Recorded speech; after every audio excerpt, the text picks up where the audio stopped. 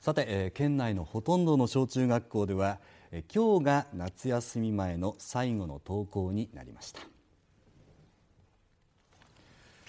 宇都宮市の平石中央小学校では LRT ライトラインが開業してから初めての夏休みを迎えます。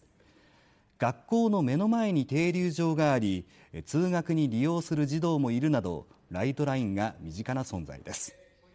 宇都宮市の小中学校は今週末から夏休みということで今日行われた全校集会では高田源校長が児童たちに水難事故や交通事故に気をつけて夏休みを楽しんでほしいと話しました。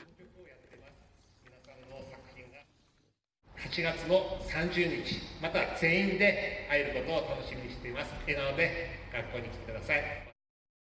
友達の家とかあと海に行きます。友達とまさか遊びたいしなんか習い事も頑張りたい。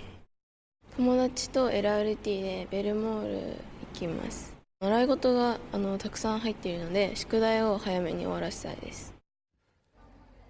県内では公立のほとんどの小中学校で今週末から夏休みが始まり期間は多いところで42日間となっています